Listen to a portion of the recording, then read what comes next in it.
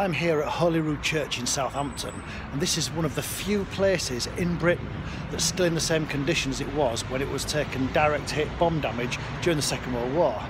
So if I show you up here, this is the remains of the clock tower and directly in the middle of this clock tower is a memorial to the people who died on the Titanic. And round here it's now a, uh, a memorial garden type, or memorial yard even, to those who die in the Merchant Navy. So it's a, a memorial to quite a lot of people who died here.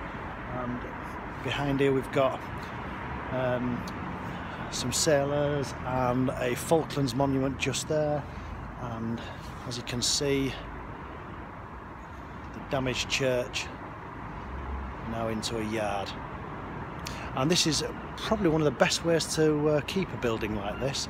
There are only a few places like this in the whole of Britain. One of them's in Portsmouth. We've got a, uh, a church without a roof, the Royal Garrison Church on Southsea Common, and we've also got a cinema in Hull.